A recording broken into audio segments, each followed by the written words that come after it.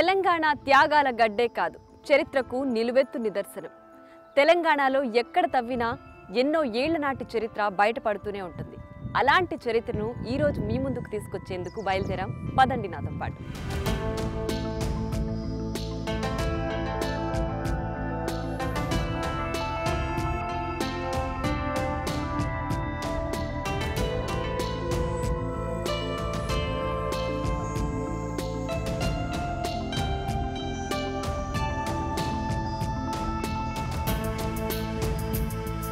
మొన్నటి వరకు పక్క రాష్ట్రంలోనే బౌద్ధ మతం ఉండేదని మన రాష్ట్రంలో బౌద్ధ మతం లేదని అనుకునేవారు. తెలంగాణలో పిడికెడు మట్టి తీసినా అందులో ప్రపంచ చరిత్ర దాగి ఉంటుంది. అలా బయటపడిందే నేలకొండపల్లిలోని బౌద్ధ స్థూపం. చుట్టూ పచ్చని చెట్లు ప్రకృతి రమణీయత మధ్య పర్యాటకులను కట్టిపడేసే ఎన్నో విశేషాలు నేలకొండపల్లిలో ఉన్నాయి. మనము చూసేద్దాం రండి.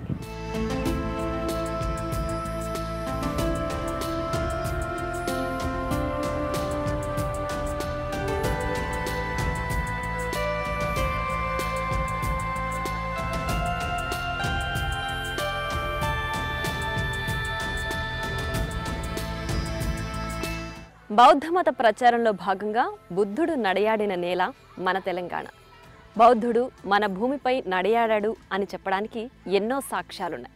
అందులో అతి ముఖ్యమైనది నేలకొండపల్లిలోని బౌద్ధ స్తూపం దక్షిణ భారతదేశంలోనే అతి పెద్ద కట్టడం ఈ బౌద్ధ స్తూపం ఇప్పుడు మనం చూస్తున్నదే.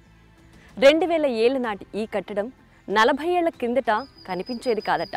కానీ పుట్టమన్ను కోసం చేసిన తవ్వకాల్లో భాగంగా ఈ కట్టడం బయటపడింది.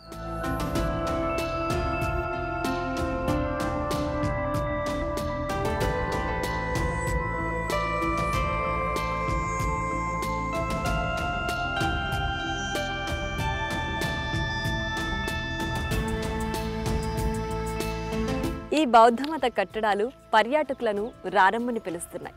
బౌద్ధ భిక్షువులు ధ్యానం చేసుకునేందుకు వీలుగా ఈ బౌద్ధ స్తూపాన్ని నిర్మించినట్లు ఆనవాళ్ళున్నాయి ఈ బౌద్ధ స్తూపం పక్కనే ఆరాధన చేసుకునేందుకు వీలుగా చెరువుని తవ్వించినట్లు చరిత్ర చెబుతోంది.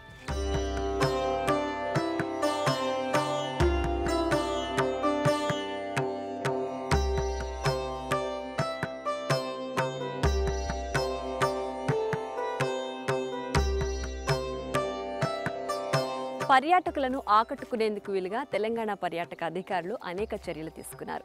ఈ బౌద్ధ స్తూపం చుట్టూ ఆహ్లాదకరమైన చెట్లతో పెద్ద పార్కును కూడా ఏర్పాటు చేశారు. సో బౌద్ధ భిక్షువులు ఇప్పటికీ కూడా ఇక్కడికి వచ్చి ప్రార్థనలు చేస్తుంటారు.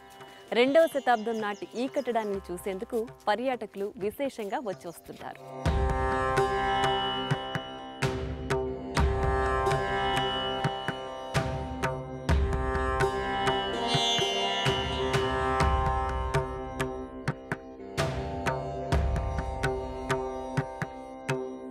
ఇక్కడి బౌద్ధమత కట్టడాలు పర్యాటకులను రారమ్మని పిలుస్తాయి. రెండో శతాబ్దంలో కట్టిన కట్టడాలు నేటికి చెక్కు చెదరకుండా ఉన్నాయి. నేలకొండపల్లి సమీపంలో ఉన్న బౌద్ధ స్తూపాలను పంతొమ్మిది వందల డెబ్బైలో పురావస్తు శాఖ అధికారులు పరిశోధనలు సాగించారు. పశ్చిమ చాళుక్యులు తూర్పు చాళుక్యుల కాలంలో బౌద్ధ మతానికి చెందినవారు ఇక్కడ ధ్యానం చేసుకునేందుకు వీలుగా స్తూపాన్ని నిర్మించినట్లు ఆనవాళ్ళున్నాయి. దక్షిణ భారతదేశంలోని అతిపెద్ద బౌద్ధ స్తూపంగా గుర్తించారు. దీంతో పాటు ఇక్కడ తవ్వకాల్లో మూడవ శతాబ్దం నాటి నాణేలు అప్పటి నిర్మాణ శైలిని గుర్తించారు. బౌద్ధ భిక్షువులు ఇక్కడ ఆరాధన చేసుకునేందుకు వీలుగా పక్కనే చెరువుని తవ్వించినట్లు ఆనవాళ్ళున్నాయి.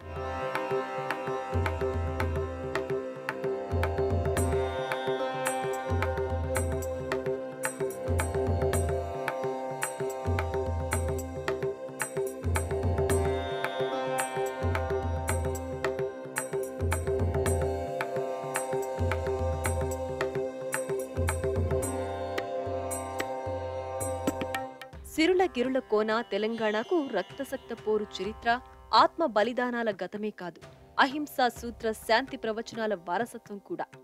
కాలగర్భంలో నిక్షిప్తమైన చరిత్ర సాక్షిగా తెలంగాణలో వర్ధిల్లిన బౌద్ధమత ఉనికి గొప్పది. ఇది తెలంగాణ బౌద్ధం వికసించిన నేల. బుద్ధుడు జీవించిన కాలంలోనే విప్లవాత్మకంగా ఇక్కడ బౌద్ధమతం విలసిల్లింది. వాస్తవ చరిత్రకు ఎంత వక్రీకరణ జరిగినా ఆంధ్ర ప్రాంతం కన్నా ముందే ఈ గడ్డపై బౌద్ధం నడయాడిందనే దానికి ఇంతకన్నా సాక్ష్యం ఇంకేం కావాలి?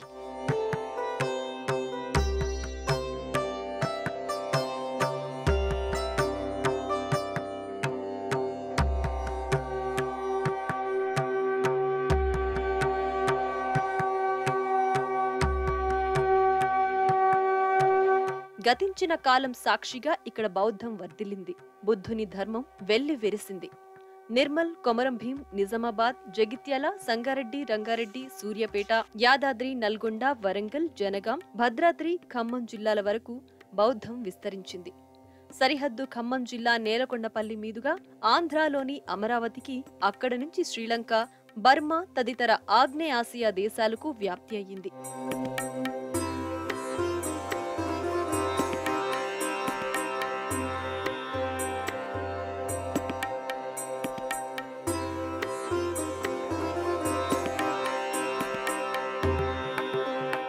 రామదాసు క్రీస్తు శకం పదహారు వందల అరవై నాలుగులో భద్రాద్రి రామాలయం కట్టించాడు. అంతకంటే కొన్ని శతాబ్దాల ముందే అంటే క్రీస్తు శకం రెండవ శతాబ్దంలోనే కొండపల్లి బౌద్ధ స్తూపం నిర్మాణం జరిగింది. ఆ రోజుల్లో దక్షిణ భారతదేశానికి ఇక్కడి నుంచే బుద్ధ విగ్రహాల పంపిణీ జరిగేది.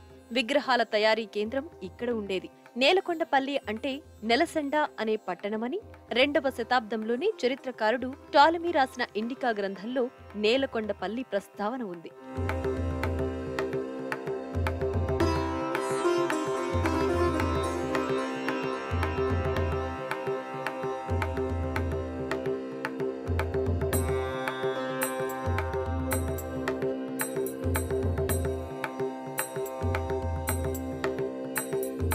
ఆంధ్ర పాలకుల కాలంలో ఈ చారిత్రాత్మక ప్రదేశం మరుగున పడింది. అభివృద్ధికి నోచుకోలేదు.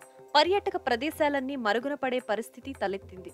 అదే సమయంలో తెలంగాణ రాష్ట్రం ఏర్పడ్డాక మన సంస్కృతి సాంప్రదాయాలతో పాటు చరిత్రను భవిష్యత్తు తరాలకు అందించాలన్న ఉద్దేశంతో తెలంగాణ సర్కార్ నేలకొండపల్లిలోని ఈ బౌద్ధ స్తూపాన్ని అభివృద్ధి చేసింది.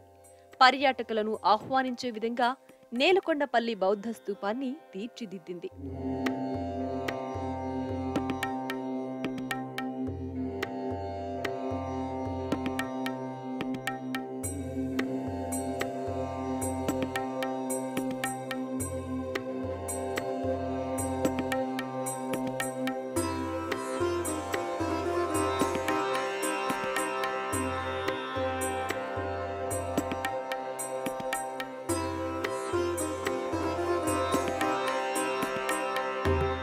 రెండు వేల ఏళ్ళ నాటి కట్టడం బౌద్ధ స్తూపం గురించి మనతో మాట్లాడడానికి నేలకొండపల్లి ముజ్జుగూడెం వాస్తవ్యులు ఉన్నారు వారితో మాట్లాడదాం. మా దగ్గర దీన్ని విరాట్ రాజు పూర్వం విరాట్ రాజు గద్దె అనేవాళ్ళు. విరాట్ రాజు గద్దె అనేటువంటి పేరుతో ఉన్నటువంటి దాన్ని దీంట్లో నుంచి తీసుకుని కట్టబోతే పెద్దలు అన్న దాని మీద ఆగి హైదరాబాద్ వెళ్ళి విరాట్ రా మన పురాతత్వ శాఖ మ్యూజియంలో చూసిన తర్వాత హైదరాబాద్ మ్యూజియం వారికి నేను దరఖాస్తు పెడితే డెబ్బై ఏడులో మొదటిసారిగా వచ్చి తవ్వకాలకు వచ్చి విచారణలో ఇది క్రీస్తకం మూడు మూడు రెండవ శతాబ్దం నాటిది బౌద్ధ స్తూపం ఇది. ఇది విరాట్ రాజు గద్దె కాదని అన్నారు. కాలక్రమేణా ప్రభుత్వం అప్పుడు ఉన్నటువంటి ప్రభుత్వంలో చెప్తా ఉంటాము. ఏదో కొద్ది కొద్దిగా మంజూరు ఇచ్చి స్తూపాన్ని ఒక దయ ఒక బాధ్యతగా తీసుకొస్తున్నారు. అది సంతోషం. ఈ భూమి మొత్తం కూడా నలభై ఆరు ఎకరాలు ఈ బౌద్ధ క్షేత్రం యొక్క స్థలం ప్రభుత్వంది. మన తెలంగాణ గవర్నమెంట్ వచ్చిన తర్వాత ఈ రోడ్డు వేయటం అప్పుడు చేశారు. అవి కాకుండా ఇప్పుడు కూడా ఏర్పాటు చేస్తున్నారు. పనులు అండర్ కన్స్ట్రక్షన్ ఉన్నాయి. విరాట్ రాజ్ గద్దె అనే దాంట్లో బ్రాహ్మణులు విజ్ఞానం ఉన్నటువంటి వ్యక్తులు ఆ రోజుల్లో వచ్చి ఈ మట్టిని దండం పెట్టిపోయేవాళ్ళు రామదాస్కి ఇక్కడ. కానీ ఇది ఎప్పుడైతే బౌద్ధ క్షేత్రం అని తెలిసిన తర్వాత విదేశీయులు వస్తున్నారు. విచిత్రం ఏంటంటే మన భాష అనేటువంటి వాళ్ళు వచ్చినాడల్లా మాకు ఆఫీస్ నుంచి వస్తే నేను వచ్చి మాట్లాడుతున్నా. విదేశీయులు వస్తున్నారు స్వదేశీయులు వస్తున్నారు ఎక్కడెక్కడ వాళ్ళు కూడా దీనికి ఒక పబ్లిసిటీ వచ్చింది.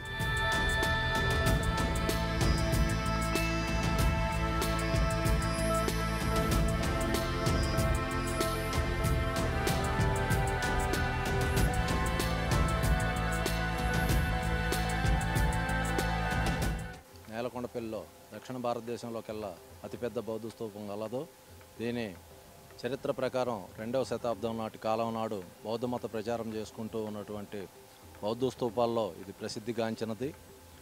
ఇట్టి బౌద్ధ స్తూపంలో ఎక్కడైనా బౌద్ధ స్తూపం ఏర్పడితే అక్కడ బౌద్ధ మతానికి సంబంధించిన బుద్ధుడికి సంబంధించినటువంటి ఏదైనా ఒక గుర్తు ఉంటుంది. ఇక్కడ బుద్ధుడికి సంబంధించినటువంటి అరికాలు పాదంలోది ఇక్కడ పెట్టారు అనేది చరిత్రకారులు చెప్తున్నారు.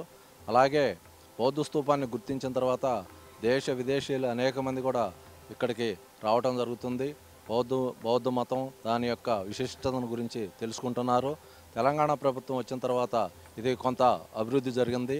ఇంకా ఇక్కడ దీన్ని అభివృద్ధి చేయాలని కోరుకుంటున్నాం. ఎర్రదిబ్బ అనేది నా చిన్నతనం నుంచి చూస్తున్నా. ఇక్కడ ఎంతో అభివృద్ధి కార్యక్రమాలు జరుగుతున్నాయి. ఇంకా తెలంగాణ ప్రభుత్వం వచ్చాక ఈ ఎర్రదిబ్బ మీద దృష్టి పెట్టారు. పెట్టాక దీని అభివృద్ధి కార్యక్రమం ఇంకా ముందందు తీసుకెళ్ళాలని కోరుకుంటూ ఈ మధ్యకాలంలో ఇతర రాష్ట్రాల నుంచి ఇతర దేశాల నుంచి వస్తూ ఇక్కడ చూసి వెళ్తున్నారు. ఇది ఏడోదో ఆరోదో అంటున్నారు. ఇంకా అభివృద్ధి కావాలని కోరుకుంటున్నాను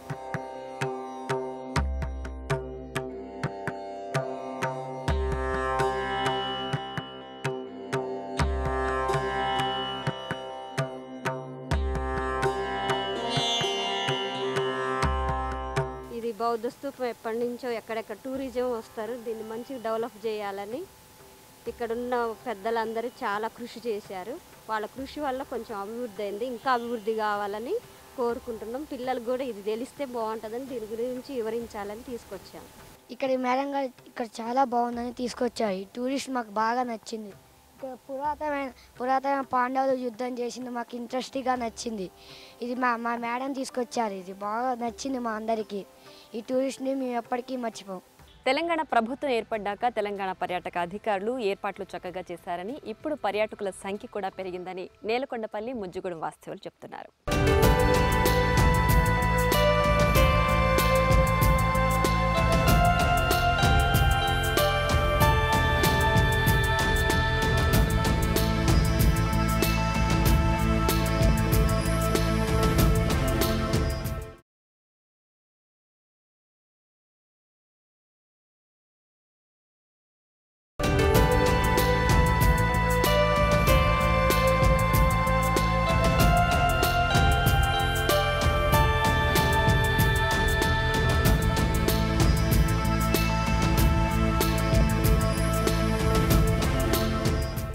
పాండవులు పన్నెండేళ్ళ వనవాసం తర్వాత అజ్ఞాతవాసం కోసం ఉత్తర భారత నుంచి దక్షిణ భారత ప్రాంతానికి వచ్చారని ఖమ్మం జిల్లా నేలకొండపల్లి వద్ద విరాటరాజు రాజ్యం ఉండేదని అంటుంటారు. విరాటరాజు రాజ్యంలో మారువేషంలో పనిచేస్తున్న పాండవుల్లో భీముడు ఆడవేషంలో వచ్చి కీచకుడిని వధిస్తాడట. అవును ఆ సమయంలో కీచకుడికి భీముడికి మధ్య యుద్ధం భీకరంగా సాగిందట. మనం చూస్తున్న ఈ బైరాగుల గుట్ట రాళ్ళ కిందటే కీచకుడి సమాధి చేశారని చరిత్ర చెబుతోంది.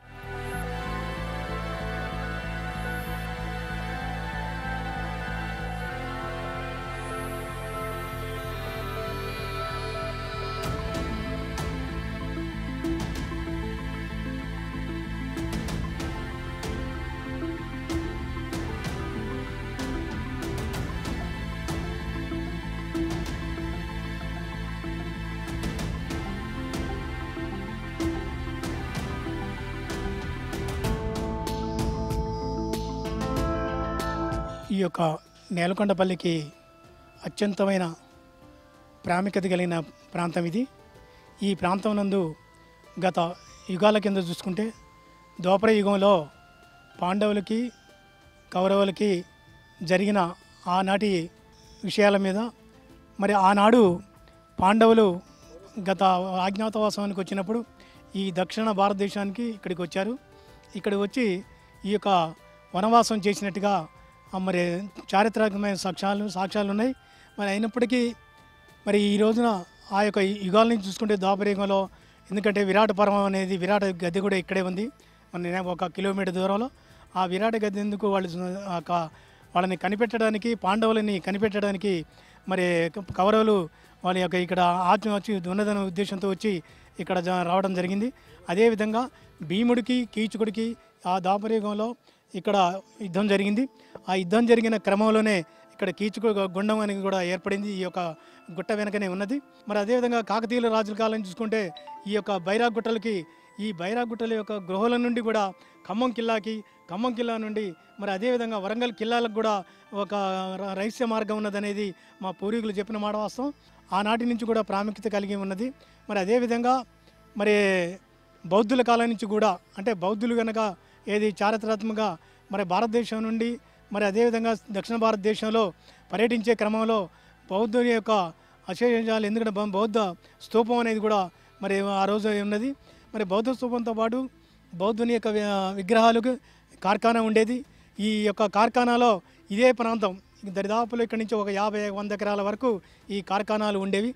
ఆ కార్ఖానాల్లో బౌద్ధుని యొక్క విగ్రహాలని నిర్మాణం చేసి శ్రీలంక బౌద్ధ దేశాలకి సప్లై జరిగినట్టుగా మా యొక్క పూర్వీకులు చెప్తున్నారు ఇక్కడ. నా పేరు వెంకటేశం అది నేలకొండపల్లి గ్రామం. ఇది ఒకప్పుడు ఈ మా గ్రామంలో పాండవ విరాటరాజు విరాటరాజు గా- విరాట్ రాజు గారు ఏలారనేది మా చరిత్ర చెప్తుంది పాండవులు వనవాసం తర్వాత పద్నాలుగేళ్ళ వనవాసం తర్వాత అజ్ఞాతవాసం అజ్ఞాతవాసం చేయడానికి ఈ వ- కొలువు కొలువులోకి వచ్చారు. విరాటరాజు కొలువులో భీముడికి కీచకుడికి భీకరమైన పోరు నడిచిన క్రమంలో ఆ యుద్ధంలో ఆ కాలి దుమ్ము వల్ల పెద్ద గుండం ఏర్పాటైందని అంటారు దానివల్ల దాన్నే కీచకుడి గుండం అని చాలా ప్రసిద్ధి చెందింది. ఆ గుండం కూడా ఈ బైరాగ్ గుట్ట పక్కనే ఉంటుంది.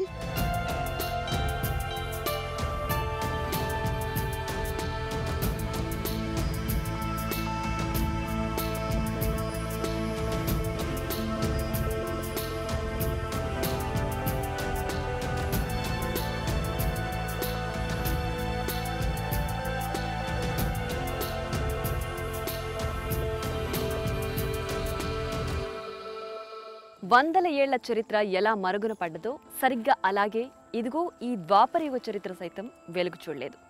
కీచక వద్ద జరిగిన యుద్ధ ప్రాంతాలు అలానే మరుగున పడ్డాయి.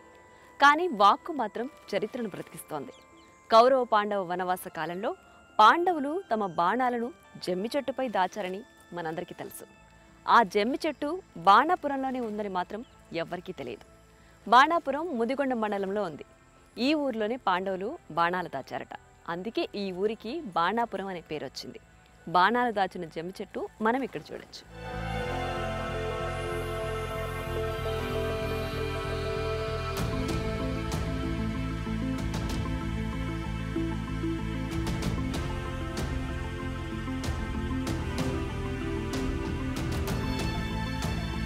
మా తాతలు ముత్తాతలు పూర్వీకులందరూ కూడా ఇక్కడ ఈ జమ్ము చెట్టు మీద వెనక పాండవులు బాణాలు దాశారని అందుకే మా గ్రామానికి బాణాపురం అని పేరు వచ్చిందని మా పూర్వీకులు చెబుతుండేవారు.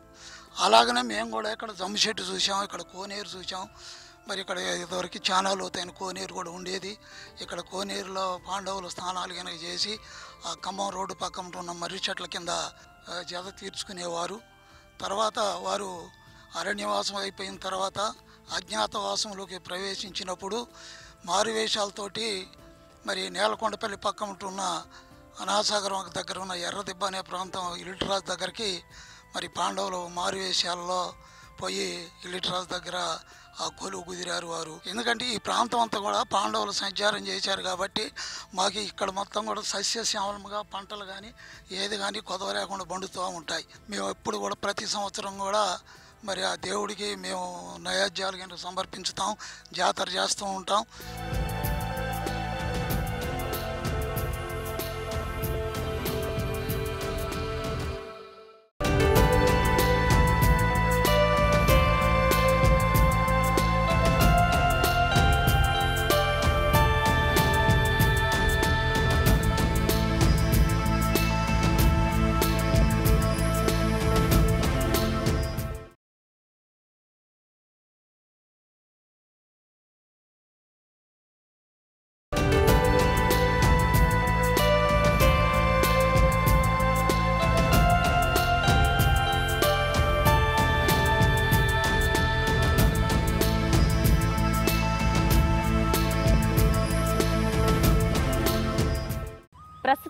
బాణాపురంలోని పంచపాండవుల దేవాలయం దగ్గరకు వచ్చాం. సో పంచపాండవుల గురించి ఈ దేవాలయం విశేషాల గురించి తెలుసుకుందాం. రండి.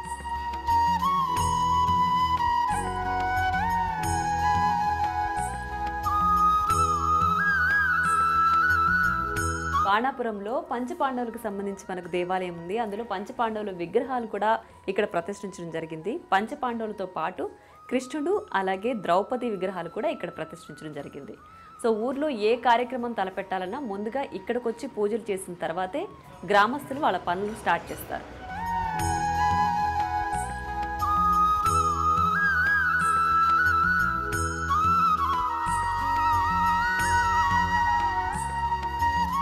ఇక్కడ మనం చూసుకోవచ్చు విగ్రహాలు ద్రౌపది అలాగే ధర్మరాజు భీముడు శ్రీకృష్ణుడు అర్జునుడు నకుల సహదేవుల విగ్రహాలు ఇక్కడ ప్రతిష్ఠించడం జరిగింది.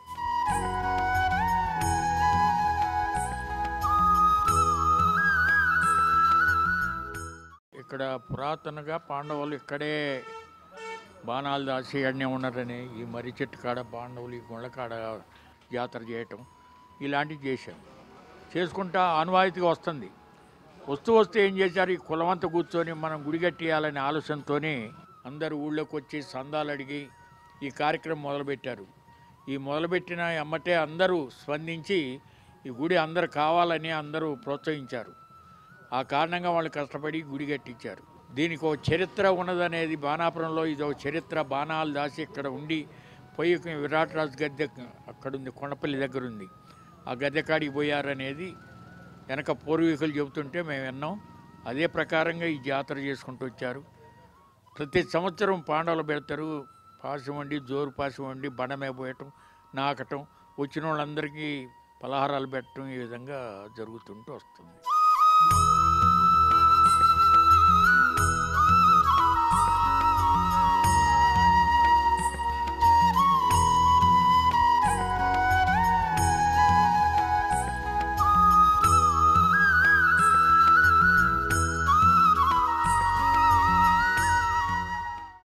పాండవులు అజ్ఞాత అరణ్యవాసం నుంచి అజ్ఞాతవాసం వచ్చినప్పుడు జంశెట్టిపై బాణాలు దాసి ఇక్కడికి వచ్చి నివాసం ఉన్నటువంటి పాండవులు ఇక్కడ. ద్రౌపది పంచపాండవులు అందరూ ఇక్కడ ఉన్నారు. ఇక్కడ నుంచి విలటరాజు గద్దె విలటరాజు అనేటువంటి రాజు దగ్గర కొలువు చేశారు కొండపల్లిలో. అందుకోసమే మేము అప్పుడు ఇక్కడ నిలుపుకున్నాం రాళ్ళ రూపంలో. తర్వాత ఇప్పుడున్న తరానికి అతి కిష్టుడు ఇట్టుంటాడు పాండవులు ఇట్టుంటారు వాళ్ళు ఇట్టుంటారు అనే దానికోసం ఆకారాలతో సహా మేము గుడి మరి చే- చే- చేసుకున్నాం. గుడి కూడా ప్రతిష్ట చేశాం. పూజారి వస్తాడు. పది శుక్రవారం ప్రతిష్ట ఉంటుంది. పూజలు ఉంటాయి. ప్రతిష్ట చేశాం. మామూలుగా కాదు. ఈ విగ్రహాలను ఇక్కడ ఉంచేసి ఇక్కడ ఉన్నటువంటి బట్టిని తీసుకుపోయి అగ్నిల కింద పెట్టి ప్రతిష్ట చేసి పూజా కార్యక్రమంతో సహా ఇక్కడ కిషుడికి కానివ్వండి పెద్దమ్మ తల్లికి కానివ్వండి పంచపాటలకు కానివ్వండి ప్రతి ప్రతి శుక్రవారం నాడు అయ్యగారితోని నైవేద్యం పెడతాం. ఆ విధంగా కొలుసుకోవటం వల్ల మా ముదిరాజులు కానివ్వండి మా బాణాపురానికి కానివ్వండి మంచి జరుగుతుంది జరుగుతున్నటువంటి నమ్మకం కూడా మా అందరిలో ఉంది. ప్రతి వాళ్ళు ఎవరైతే కోరికలు ఉన్నాయో వాళ్ళు ఎవరైనా కోరికలు ఉంటే ఆ కోరికలు కూడా తీరుతుంది కాబట్టి ఇక్కడికి వచ్చి బోనాల రూపంలో కూడా బోనాలు చెల్లిస్తారు. అదేవిధంగా ప్రతి సంవత్సరం మేము ఇరవై ఏడు మన ఏప్రిల్ నెలలో మేము ఎప్పుడైతే శంకుస్థాపన చేశామో అప్పుడు అదే ఏప్రిల్ నెలలో మేమందరం గ్రామస్తులు కలిసి ఊరేగింపుగా బోనాలు తీసుకొని వచ్చి బోనాలు చెల్లించి ఏటపోతుల వారికి కూడా మా కులదైవమైనటువంటి మరి పెద్దమ్మ తల్లి ఉంది.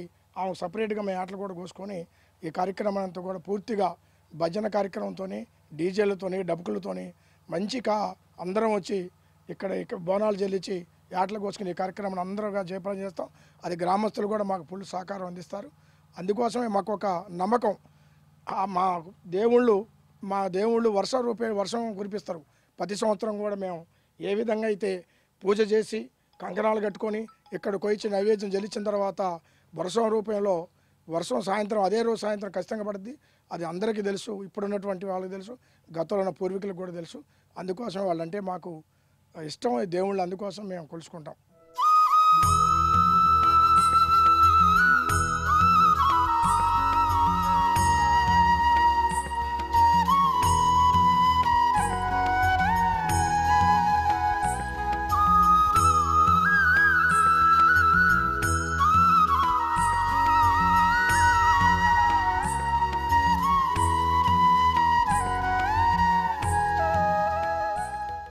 చూశారు కదా పంచ పాండవుల యొక్క ఆలయం విశేషాలు మరియు జమ్మి చెట్టు యొక్క ప్రత్యేకతను. మరో ఎపిసోడ్తో మళ్ళీ కలుద్దాం. Until then keep watching T news